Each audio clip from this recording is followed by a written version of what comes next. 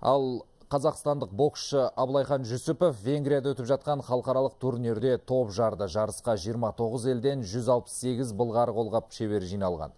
Олардың арасынан 4 бірдей жерлесіміз финалға шықты. Сәйкесінше Ильяс Сүлейменов, Айқынбай Шалқар және Әли Ахмедовтар күміс жүлдегер атанды.